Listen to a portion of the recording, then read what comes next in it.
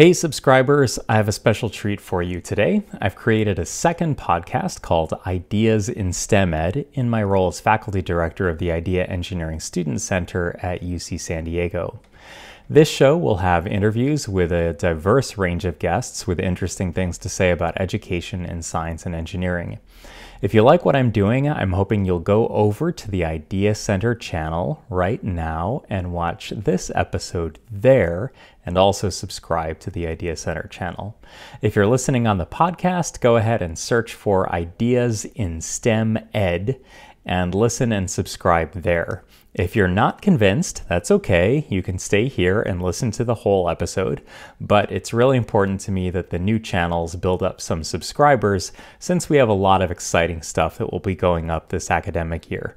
I never ask for any uh, any money, and uh, I don't monetize the channel. Um, so if you want to uh, go ahead and pay me back for anything interesting you've ever learned on uh, on my channel, go ahead and subscribe um, to Ideas in STEM Ed and the Idea Center YouTube channel.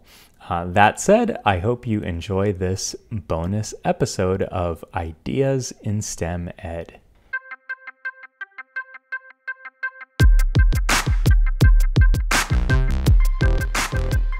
Ideas in STEM Ed is a production of the Idea Engineering Student Center at UC San Diego, which works to promote community, success, and inclusion at all levels. My name is Darren Lipomi, professor of nanoengineering and chemical engineering and faculty director of the Idea Center. The purpose of this podcast is to provide a forum for the discussion of innovative and inclusive approaches to teaching and mentoring, and to support the personal and academic flourishing and success of students in science and engineering. To learn more about the Idea Center, visit jacobschool.ucsd.edu front slash idea. Andrea Armani is the Ray Irani Chair of Engineering and Material Science and Professor of Chemical Engineering and Material Science at the University of Southern California. Her laboratory uses a mixture of tools from chemistry, physics, engineering, and biology and bridges the disciplines of material science, medical imaging, and nanophotonics.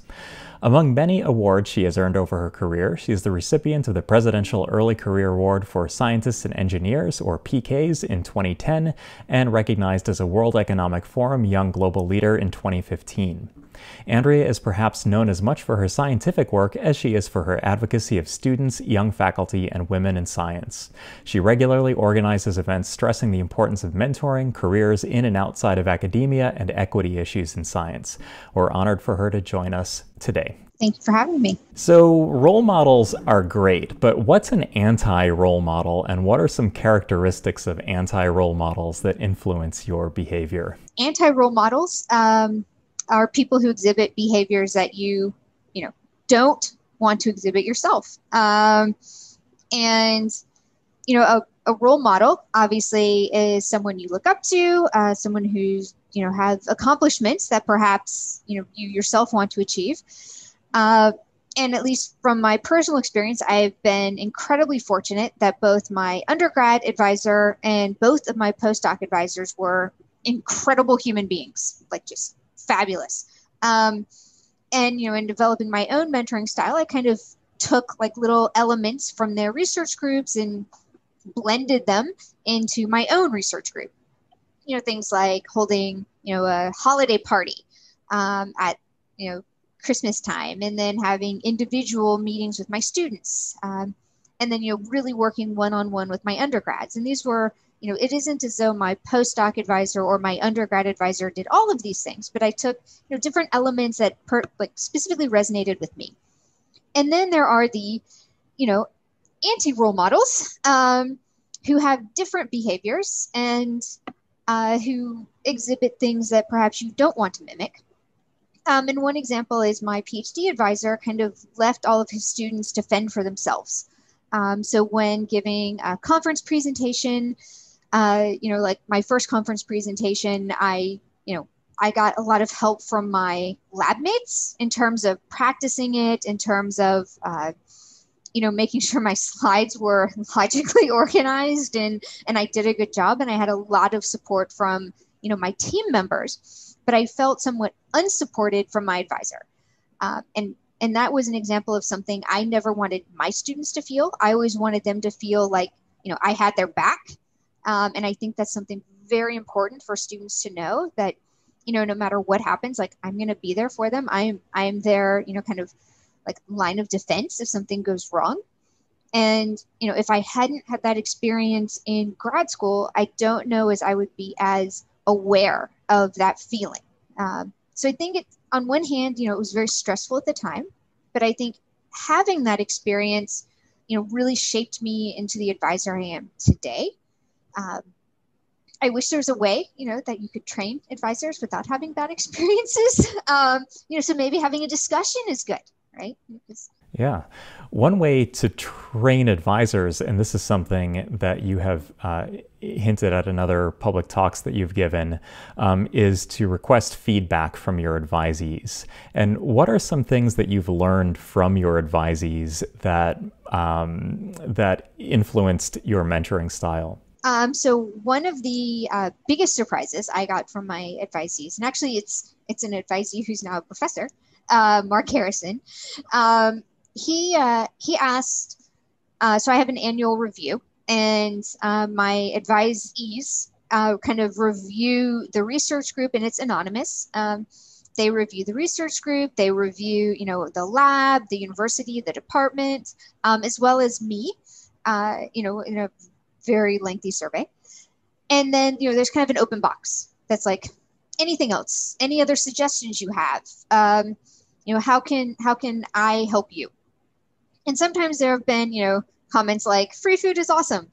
Um, you know, just like general big picture things. And then, you know, one year, uh, Mark, uh, and the only reason I know is because he fessed up.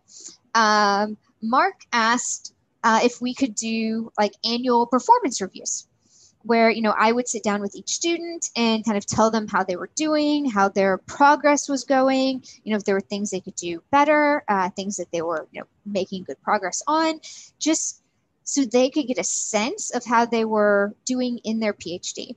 Because unlike an undergrad where you, know, you have like a clear curriculum, clear goals, you know what your GPA is, um, as a PhD you can you know tend to feel a little lost. And in a job you have annual performance reviews, so it actually makes sense to do this. Uh, so we started annual performance reviews in my group, and it's worked out really well. Uh, and it was a great idea on Mark's part but it was that was kind of an idea that came from him. Uh, and it's also been really helpful to kind of do this annual review of the students of me because as the group has you know kind of changed right because every year we have new students come in and students graduate what they've really wanted to do has also kind of evolved um, sometimes the students really want to have parties at my house sometimes they'd much prefer to have them on campus um, so we kind of evolve is what the group wants to do. You've been a mentor to a lot of people, both uh, in your group directly, but also to the community. Your lab website used to have a very extensive list of uh, of essay essays, essay topics. Um, I've noticed that it it still okay, it still does that uh, I, I, I, saw the uh, the FAQ, which was des- designed for people joining the lab. Um, so that's that's great to see. That was a great resource when I first started in in 2012. Why did you feel compelled to make all of that information public? First off, all that information is still on there. I, I recently did like a whole lab page reorg, and it's it's all under now like an advice page. So it's a little I thought easier to navigate, but maybe I'm completely wrong. Uh, but I tried to consolidate everything into like one page. Okay, uh, yeah. uh, yes, everything is still there. I decided, so I made everything publicly available because I, I really feel that transparency is important. Uh, and also, when I was an undergrad applying to grad schools, I was incredibly lost.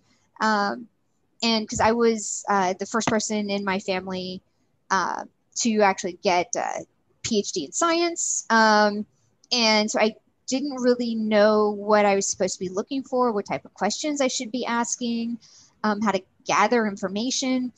And so I wanted new students who were thinking about joining my group to have the answers to these questions, as well as think about what questions they should be asking other professors and especially students perhaps from you know first gen backgrounds who may not feel comfortable asking me questions i would just give them the answers. So then they wouldn't need to ask me questions that maybe they feel a little awkward about asking right? So i would try to open the door to the discussion. So i was you feel it was, it was a lot of reasons. Mm-hmm. do you feel that doing uh, that making this information public uh, makes you more uh, I guess vulnerable is the is the word of the day but um, do you think it it um, lowers the uh, the level of mystique that a professor is supposed to have that uh, is is some somehow deleterious if we if we remove these barriers um, I'm sure it does. I'm but on the other hand, it, it probably changes the type of student that applies to my group. Um, but my group is also really friendly. Uh, so the students that do apply are students that value kind of the the open culture in my group in the sense of transparency and the sense of teamwork. And perhaps, you know, if I didn't have this very open uh, communication in my group, you know, a different type of student would apply. And it's not necessarily the type of student I want in my group. Um, you know, I want students who really believe in teamwork, really believe in, you know, everybody helping each other. So it's, you know, it helps to facilitate, you know, my recruiting students that I want to recruit. Um, am I supporting that type of student? Speaking of transparency, your Twitter is one of my favorite ones to follow. Um, I feel that you never waste a tweet. Uh, there's always something that's poignant uh, in in your tweets. Um, if you had to give your Twitter um, account a subtitle, what do you think it would be? One of my friends um, always jokes that half of my tweets are me venting, and the other half of my tweets are pictures of my cat um, and it kind of oscillates back and forth between like Andrea venting and Andrea's cat.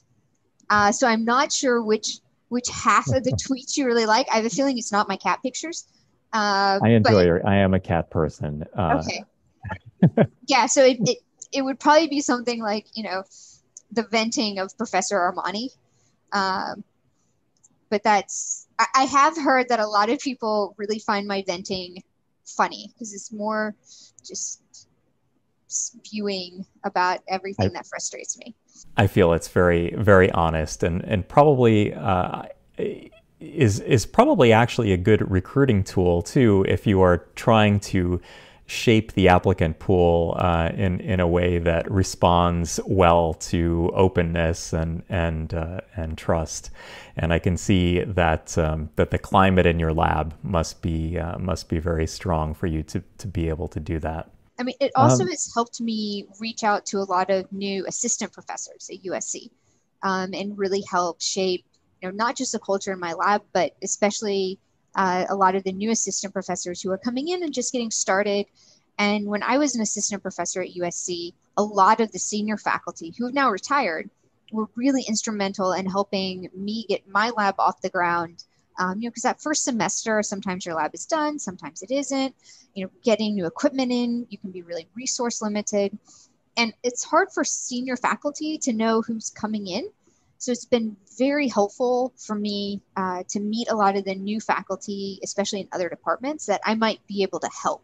Um, so I found it incredibly useful in that sense, just to try to help nurture these you know, new baby faculty, um, mm-hmm. help them launch their careers. Is that how you think you got the reputation of being a great mentor? I mean, I think you get a reputation of being a good mentor just by being a good mentor, right? Just by helping people. Um, and trying to you know pay it forward right? If you help people then more people come to you for help and then yeah. you help more people and then more people come to you for help and then it just continues. In your own lab uh, where do the ideas come from? Where do research ideas come from? Uh, everywhere. Um, I, i'm sure you get asked this question a lot too right? Um, but they they come from the students they come from me they come from we have collaborators, we have collaborators everywhere. Uh, so they, they come from, you know, honestly, just all over the place. Uh, I really, uh, one of kind of my graduation requirements, I have three requirements for a student to get a PhD in the group. Um, one of them is that they have to do a little bit of experiment and a little bit of theory. The relative balance between those two is entirely up to the student, but I think it's really important for a student to do a little bit of both. Um, a student has to build something, uh, you know, whether it's a testing setup or modification to a testing setup, but I think it's important for a student to design and build something, and that creates a skill set. Um, it also teaches you, you know, how to take different things from different manufacturers and make them work together, and then how to deal with like software, hardware incompatibility issues, and and also builds confidence in yourself that you can actually do this. Um, and that confidence building, I think, is really important. And then the third thing is a student needs to come up with their own idea for a project and see it to completion. Um, it's super easy to come up with an idea and get the first experiment and be like, "Yay, it worked," and then drop it. Uh, and because that that first experiment is always a super exciting one. It's the replicating it 50 times and then actually writing the manuscript and then getting the manuscript published. That's the not fun part. So that that last thing is usually what a student will spend their last year and a half doing is coming up with like their own idea and then seeing it through to completion. So, you know, usually at any given point in time, about a third to a quarter of my group is working on their own ideas that they've come up with. And maybe those are just extensions of existing projects, but I really feel that the idea of being able to come up with an independent project is really important because, you know, when a student leaves the group with a PhD, they're going to go off into the world and they're going to be a team leader. You know, like they're, I'll, I'll help them, but they're they're kind of independent of me, um, and they need to be able to lead by themselves. So mm-hmm. that's I kind of have those three requirements. So, what characteristics do you look for when new students are applying to your group? I look for I look for a range of characteristics, really. Um, I look for students that have skill sets that complement the current student skill sets. Um, I look for students that have done team based things. Uh, whether it's being you know in a student club whether it's uh, you know being on a sports team but something where they actually had to work with others uh, i look for some sort of lab experience where they were an experimentalist um, you know it doesn't necessarily have to be of a similar nature to the work we do in the group but i at least want to see some sort of lab experience uh, simply because it's you know, doing experimental research is incredibly frustrating.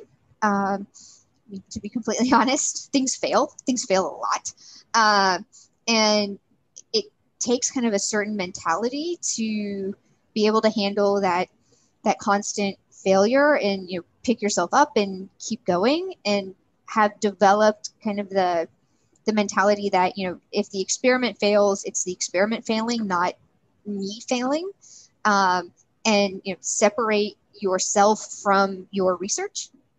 And so I want to make sure that a student has kind of either developed that or they're on the path of developing that mindset and also that they enjoy it. Uh, and they're they're able to recognize that just because an experiment you know, doesn't work, that doesn't necessarily mean that there's nothing to be learned. Because um, if you design an experiment well, you can always learn something, even if it doesn't work. Uh, so I I like to see a student that you know, has done some experimental research and actually enjoys the process. Uh, so I look, I look for lots of things. How do you assess those uh, those characteristics in a short meeting during graduate recruitment? So I usually ask a student what their favorite research project was. Uh, you know, and it doesn't. And I ask uh, potential postdocs the exact same question. Uh, and it's usually I'm usually not looking for them to say, oh, my favorite research project was the one that got published. Uh, because, for example, my favorite research project from my PhD is it never got published. Um, but it, it's still my favorite research project. It required, it combined a lot of different fields. Um, it made this really cool device. In the end, we just were never able to test the device uh, because whenever you make a new device, a lot of times you have to make a new testing setup in order to test the device, and we could never get the testing setup to work. So it was an awesome device, uh, but I still don't know if it works. and it's been like 20 years. Um, so it's I'm always curious what somebody's favorite project was, why it was their favorite project, what about it made it their favorite project, what really excited them about it. Because um, you can learn a lot about a person's, you know, personality by what really makes them excited. Um, you know, and maybe it was the team that they were working with. Maybe they really liked their, you know, collaboration partner. One of the reasons I really like that project is because I got to collaborate with a bunch of chemists. Um, so there's, you, know, you can learn a lot. So that's one of the the questions I ask. So from the student's perspective, one of the questions that uh, that a an undergraduate applying to grad school is likely to ask is by which weight what weights what relative weight should i give the prestige of the university versus the pi and the pi's ability to to mentor? And i have a feeling i know what way your your answer is going to skew but but i'd i'd like to hear the whole uh, the whole range of of, of argument um so i always say that the pi is the most important um simply because uh, the pi is with you forever uh, you know, your PI will be writing you rec letters for decades to come. Um, I've had grad students leave my lab, then go take jobs in industry, and then five years later say they want to become professors, and then I'm writing them rec letters for faculty positions, uh, or they come back uh, and say they're you know changing industry positions and they need another rec letter. So it's very important to have a faculty member that's really invested in you not just invested in you as a little busy bee during your PhD and then they kick you out and they're done with you. Uh, and so you really want someone who who is your your mentor for life, not just your mentor for five years. Uh, re, uh, you know, obviously, academic institution is is important. I'm not going to say it's not important, um, because academic institution is related to what type of facilities you'll have. You know, you need to have sufficient facilities to actually do research.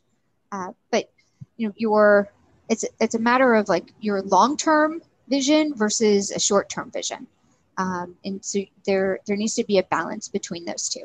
Uh, kind of one of my uh, one of my favorite anecdotes was uh, at chemical engineering at Caltech. Um, they admit all of the students and, and then they do rotations their first year and then they do like a matching program at the end of the first quarter and they admitted about 25 or 30 students during the first year and about half of them wanted to work with this super famous professor and he was only planning on taking one student and all of these students are clearly very smart uh, but it meant that you know the majority of them ended up not working with the person they wanted to work with which is you know kind of sad because you know, they could have gone to another school, they could have worked with the faculty member they wanted to work for, and now they're at a really great school, but not necessarily doing the research they want to do and not necessarily working with the professor they want to work for. Um, so I always encourage students to make sure that they're going to get that match that they want from the get go um, and not end up in that you know not not ideal position. When somebody applies to USC and they're accepted and they're interested in your lab, but you have too many applicants, which I'm sure happens a lot, how do you tell the qualified students that you that you would take if you had all the resources, all the personal bandwidth? How do you tell them no, and what are the reasons uh, that uh, that that they that they did not get the position despite you know being accepted to USC? Um, so actually, USC I think is a little different than uh, UCSD. So students, um, at least in the majority of the, so I am cross-appointed in a lot of different departments. Um, so in the majority of the departments I'm appointed in, students are accepted to both the department and the faculty members group. So they're admitted directly to my group, so they know that they're in my group. Um, the exception to that is the chemistry department. So the chemistry department does admit as a cohort and then do kind of this rotation program and then does matching. Uh, so, you know, I, if a student applied to the chemistry department, I can usually accept like one extra chemistry student. That's not going to be a huge burden. Uh, but I can imagine if, you know, I had seven students who all of a sudden wanted to join my group, that could be an issue. Uh, but I don't necessarily have the problem of a bunch of students applying, getting admitted, and then I have to in contrast uh, to a department like that, I actually have a lot of those conversations in December and January.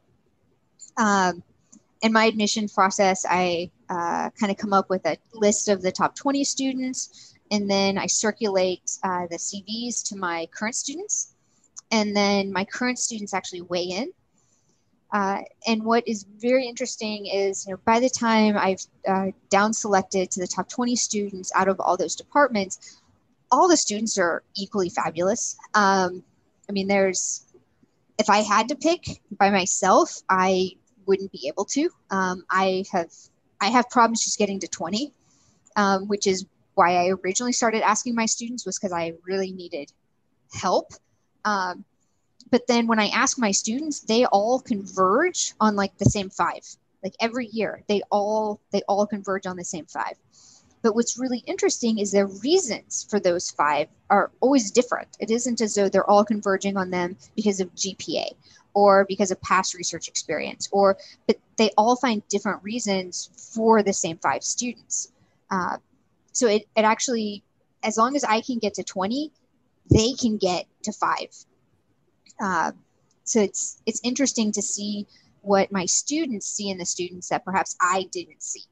That's a wonderful way to see diversity manifest when you uh, when you outsource a, an important decision like that to a, not that you're outsourcing it, but when you solicit feedback from a diverse group, um, that uh, that you that multiple characteristics are highlighted. No, it's it's great. Uh, and so then you know after that, I I talk with those five students and make sure they're you know genuinely interested, and then you know I tell them to reach out to my current students, and and so then it ends up being uh, not just me recruiting them to USC, but it's really the entire research group recruiting them to USC, to my mm-hmm. group. In nanoengineering at, at UCSD, at na- in nanoengineering and chemical engineering, we have a, a direct to PI sort of recruitment, but then in material science and chemistry, they're recruited as a cohort. Um, I, I I don't have as many department affiliations as you do, and I'm wondering how you manage that.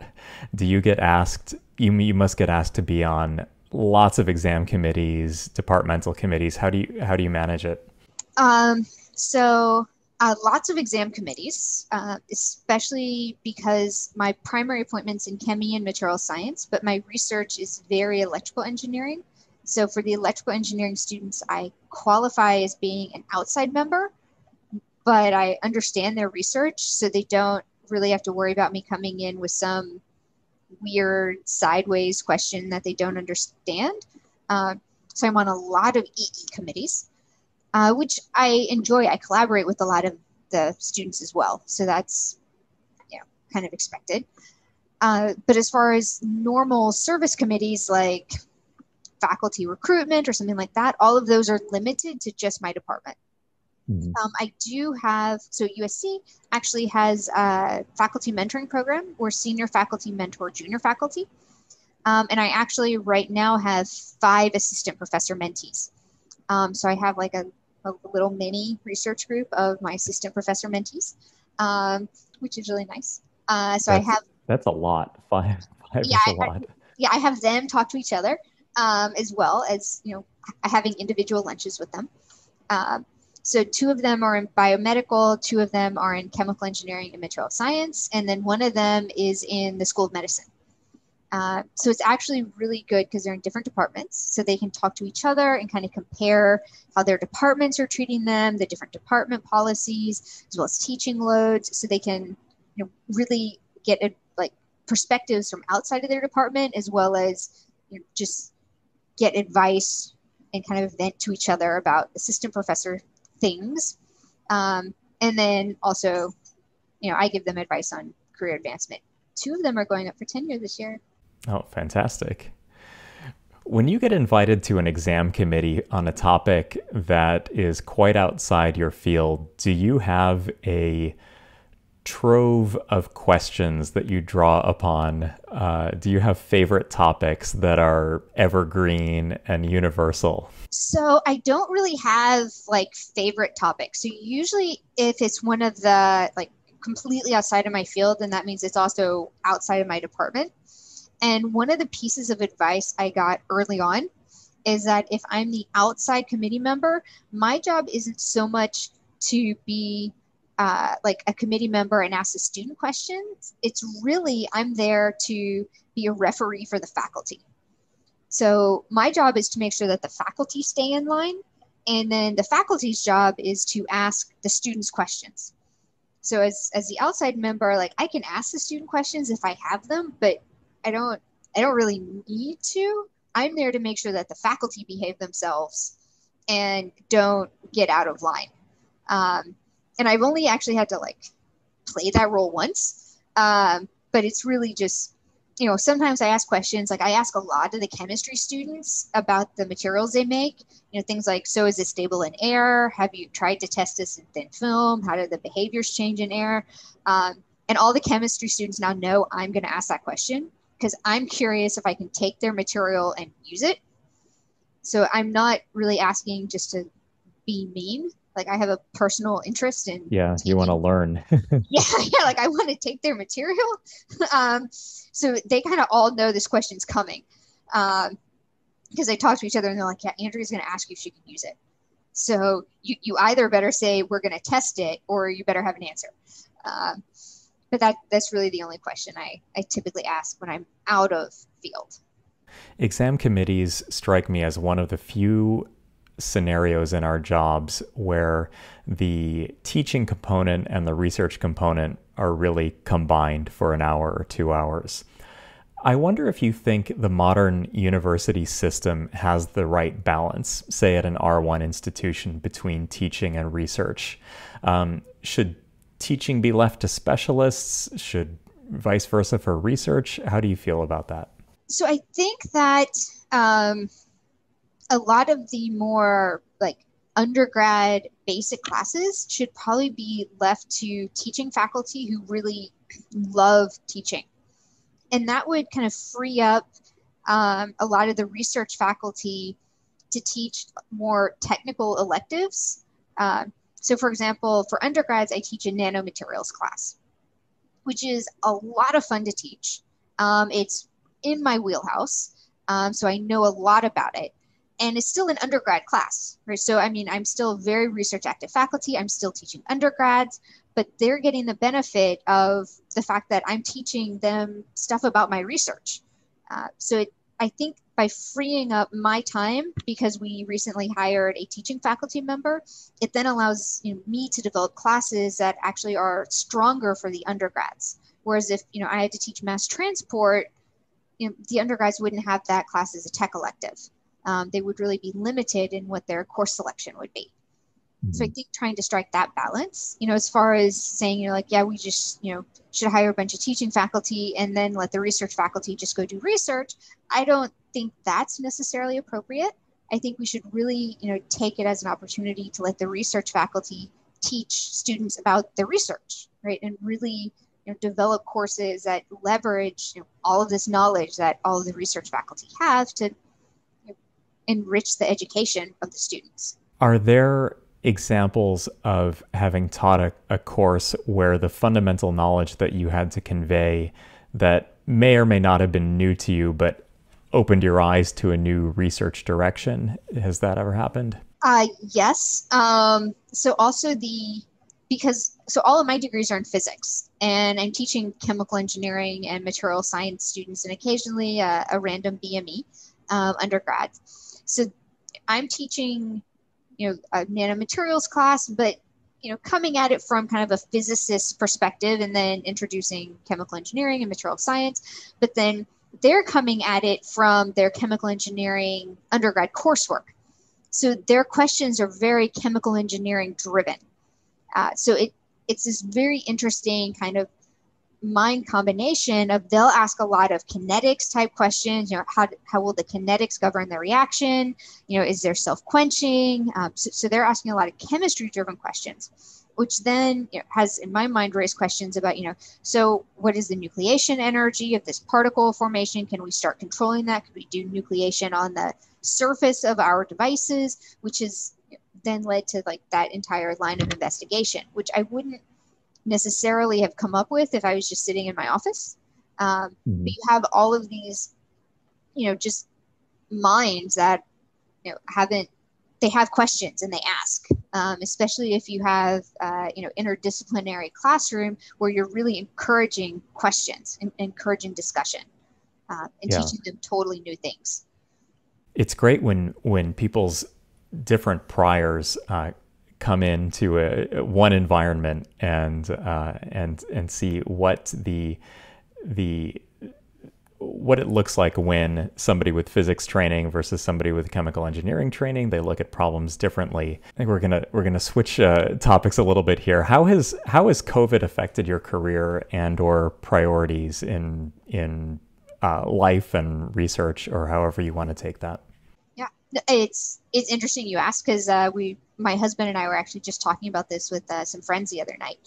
Uh, and so before uh, I'm I'm an, an, academic, my husband's in industry, and he's also an engineer, and we very much led like separate professional lives, I, not separate lives, but separate professional lives. Uh, and last spring, um, our lives definitely merged together. Uh, so one of the the big challenges that USC kind of posed to all of the engineering faculty was, you know, step one, hand over all of your PPE to the hospital. Um, just give it all.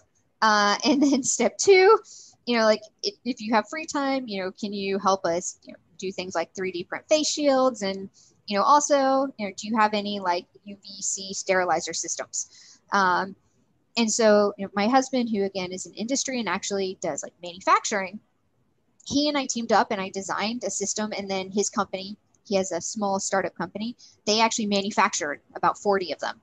Um, and because his company's in defense, so they actually never shut down. So it was, you know, it completely changed like my lab's priorities. It completely changed his priorities in terms of like our research focus. Um, so it was, and I actually went back into the lab, which like I did an experiment. yeah, like I I like cultured bacteria and then did an experiment to make sure that the system worked and you know to determine the duration of exposure and things like that, which was shocking. Um, I still have skills, uh, so that was that was a lot of fun. Uh, so it did completely change like those types of priorities for several months, um, and then it also has really changed, you know, my opinion on travel um, in a big way. So before this past year, uh, the longest I had been home since I was a postdoc was about two months, and that happened when I had shoulder surgery. Um, and I had a major shoulder reconstruction, and I was home for two months. Um, I flew with a brace on, like that that level mm. of travel. Um, and so this has kind of been a, a real awakening to, you know what, maybe, maybe we just shouldn't travel for NIH panels. M- maybe I don't need to take like a red eye to DC, sit on a panel for 10 hours and then fly back to LA. So, so which category of academic travel would you retain? So I would say, you know, I would do a better job of scheduling. Uh, so for example, you know, like if, uh, if like both uh, NYU and Columbia invited me out to give seminars, and one was like, "Yeah, how was February?" and the other was, "So how is April?" I'd be like, "You know what? You two get together because I'm going to fly to New York once, and if you you two can't work it out, I'm I'm out." Yeah. Um, so it would be things like that, like I'm gonna I'm gonna cut down on the flights, um, you know, reduce just multiple trips. Uh, just because it, has been really nice. I don't know about you, but it's been really nice being healthy. Uh, like it, it felt like the last three years I was just sick all the time.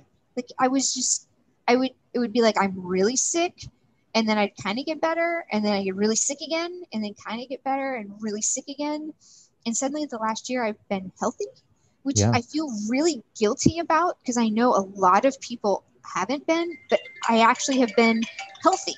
And you also have control over your sleep, uh, no jet lag. You have control over your diet. You have control over your exercise. Um, you're not exposed to new pathogens, uh, you know, twice a month.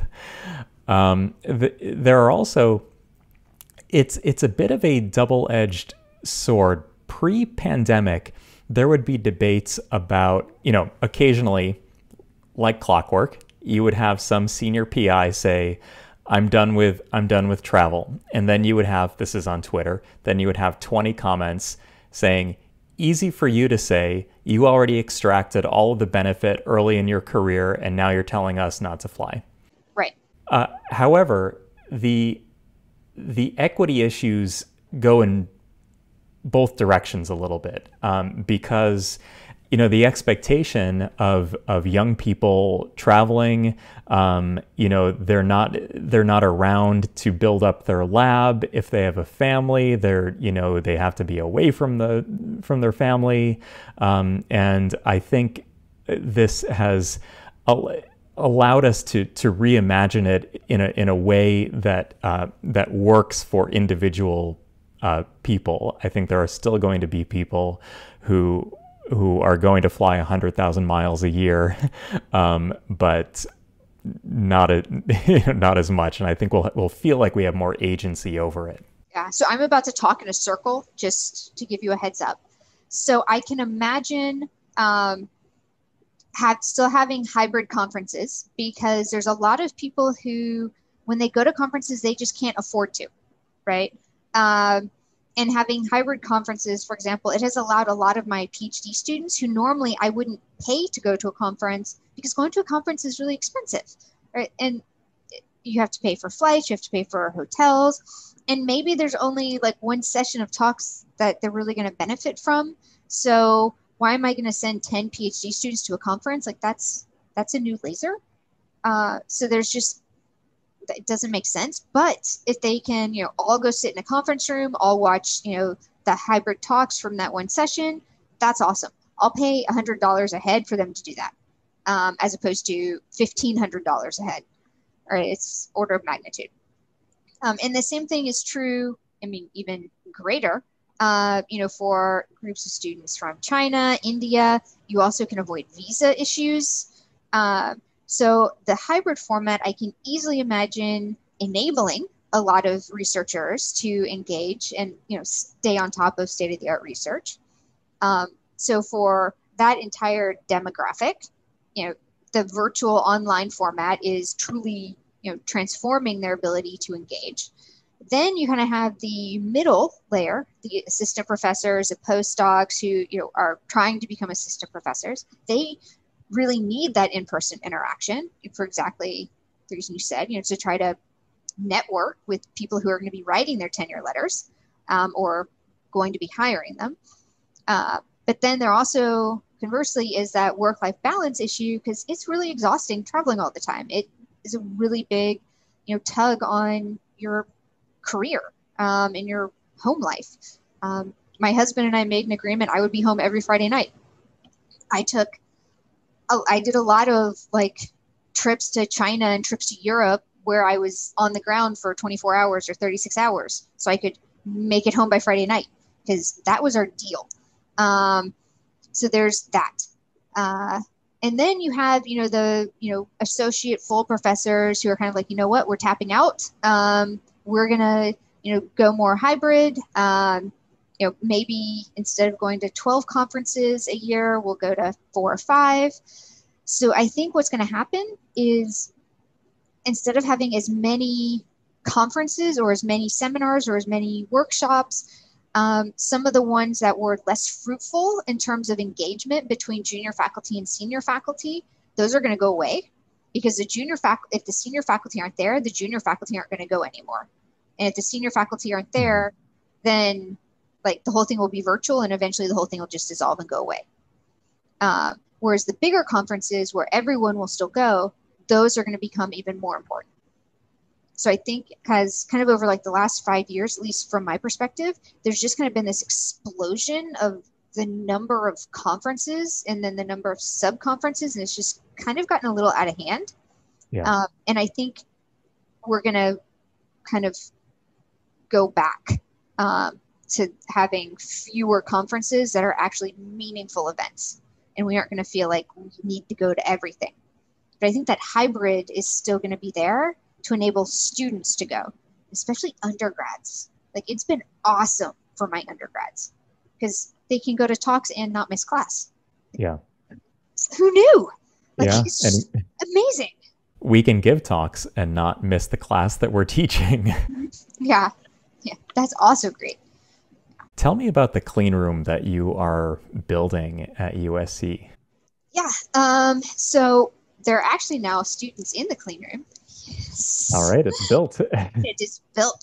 Um, yeah, so for about the last five years, um, we have been building a clean room um, from like building a new building all the way to designing the clean room and then uh, building out the clean room uh, and building in all the infrastructure for it and then buying equipment for it as well as relocating some older equipment and then certifying it with permitting and then now um, actually two weeks ago we started training students to go in so obviously there's kind of two categories of students. There's the existing users that had used our previous facility and then the new users.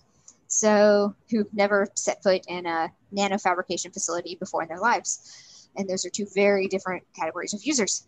Um, so the existing users are, you know, all trained. They're in the clean room using it.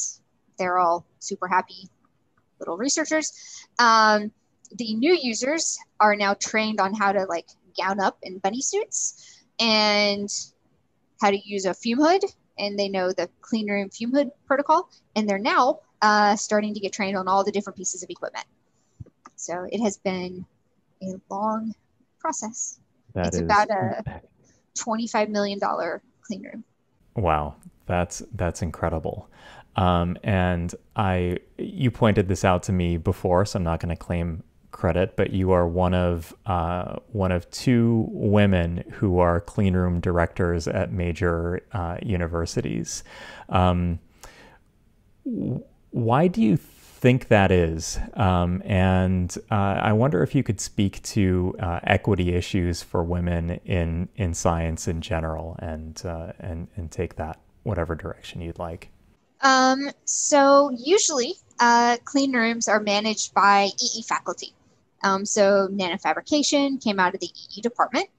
Uh, and so it makes sense that usually a nanofabrication facility director, the faculty member director, is an electrical engineering faculty member.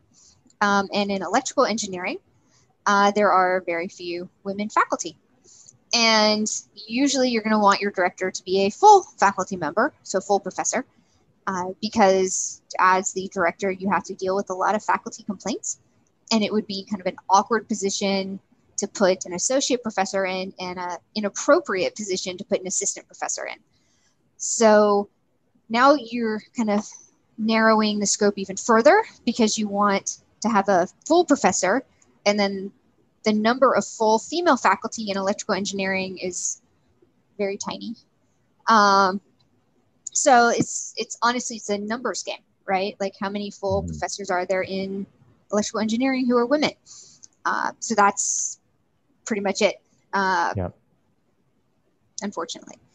So now, uh, as far as uh, equity issues, so with our clean room, I haven't faced that many issues, um, that many problems. We have a really good set of faculty here. Um, also, a lot of them realize the magnitude and the challenges, so the scope of the work with building a new facility. Um, and they've been really supportive of everything that's going on. Um, I know I am incredibly fortunate to have their support over the you know the last five years. Uh, just incredibly lucky. Uh, you know, I can't speak for for all clean room directors. Um, I I know uh, Shaya Fainman at UCSD he was a previous director of the facility there. Um, he's been a great resource for me uh, in terms of trying to come up to speed on how to do this job and how to do it well. Uh, so I have called him a lot to get advice. That's wonderful to hear. Um, in our last few minutes together, I have a couple of uh, questions that uh, may not seem like rapid fire questions, but they probably will necessitate a rapid fire response. Um, what is the biggest thing you would change about academic science and engineering if you could? Um, honestly, I would get rid of tenure, um, which, which, is a big thing. Um, yeah, I think it's kind of an outdated concept, and also it has been um, it, it's not really a useful thing anymore. Um, the idea that tenure is held by a university uh, doesn't make sense because the whole idea of tenure when it was originally invented um, was that you would be tenured and you would have some super rich guy, let's be honest, super rich guy, uh, give you a ton of money, and then you would be able to do whatever you wanted because you would have all this money to do your research. Now um, you you have to get money from a funding agency. So really, uh, your tenure isn't held by your institution; it's held by the NIH or the NSF or whoever's giving you money. Um, and you don't really have academic freedom because you have to get the NSF or NIH or DoD to give you money. So like tenure as a construct is totally like not a thing. Uh, so we should just get rid of it. Uh, like it should just not be a thing. It should just yeah, uh, yeah. People people just abuse it, um, and they don't use it for its original intent. Well, it, it does lead to a lot of um, a lot of old people on faculty committee committees making it very difficult to make obvious changes to to curricula and department policies. No, it, it leads to a lot of bad behavior. Um, and it also leads to a lot of uh, inequity in terms of distribution of work. Um, so the balance between like service teaching and research. So it leads mm. to a hmm. lot of inequity in terms of that. Uh, so I think it, you just shouldn't have tenure. But that's a very controversial opinion. Um, but yeah, it is why I will never be dean of a university. Speaking of controversy, what are your least favorite argument, or what is your least favorite argument that appears in your Twitter feed with some regularity? I would say a lot of the arguments around um, like PhD student stipend and postdoc stipend. Um, I agree that uh, PhD student stipends should be higher. Um, I disagree that it is entirely the PI's fault. Um, everybody blames the PI for everything, and we don't set the stipend. So you can't yeah. blame us. Like, I, I can't pay my grad students anymore. This is not my fault. Yeah. I would pay you more if I could, but I can't. This is this is what the university negotiates with the federal government. There is a related issue around uh, around payment for undergraduate researchers, um, whereas in in and and the the inequity there is not that undergraduates generally, well, generally don't get paid during the academic year. That they often do in the summer. The, the bigger inequity is that graduate students get paid at a 50% rate and to pay a gra- to pay an undergraduate researcher the minimum salary that I or hourly wage that I can means that the undergraduates that I pay this summer are technically making more per hour than the grad student who's mentoring them. And and that's that is I think a source of of misunderstanding. It actually came from a good place in terms of uh, university as a rule saying you can only hire an undergraduate researcher at this minimum level but then the grad student who's mentoring them is is is only a 50% employee. But then you're also paying the grad student's tuition. So the other option is you give the grad student tuition cash and then they pay taxes on that and then they have to pay the tuition. So i think that often just gets forgotten yeah. that you know you're paying their tuition because uh, they just don't see the money all right. Trail running or road running? Uh, neither. I uh, I run on a treadmill. Oh yeah. Yeah. Uh, so I actually had uh, uh, ankle surgery when I was an undergrad. So I played soccer, mm. and I tore my Achilles about three quarters of the way in in one incident, and then in the next incident, I uh, tore a bunch of the other uh, tendons, kind of going across the top of my foot. So then after the second injury, I had a complete ankle reconstruction. So I am not allowed to run on uneven surfaces. That that is the official statement from my ankle surgeon. Um, so I get to run, on tracks or treadmills. And going around in circles is super boring, and I lose count also. Uh, so I run on treadmills, and then I can at least watch TV and distract myself from the fact that I'm really bored. Uh, yeah. Well, it's a good way to uh, to binge certain TV shows. All right. I have one one final thing. If you were not a professor, what would you have been? Um, I really, when I started grad school, I wanted to go work at a national lab, um, or maybe something like Bell Labs, which at that point in time was like the cool place to go work because uh, it was you know like late 90s, early 2000s. Uh, but so that was kind of my plan. And then I TA'd and I really liked teaching, so then I switched. I shifted over. Uh, but yeah, so that was kind of my initial plan was a national lab type position. Awesome. Well, thank you, Andrea, so much for doing this. Um, I learned a lot from this discussion, and I think our audience did too. Thank you for having me.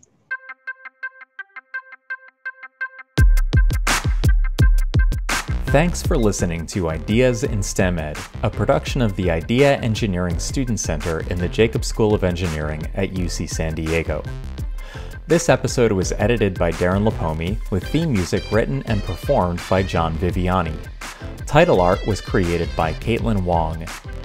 The Idea Center works to promote community, success, and inclusion at all levels.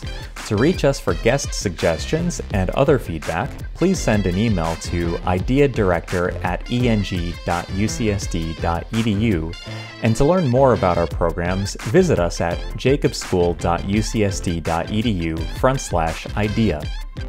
As a final note, the views expressed by me or the guests do not necessarily reflect those of the Idea Center, the Jacobs School of Engineering, or UC San Diego. See you next time.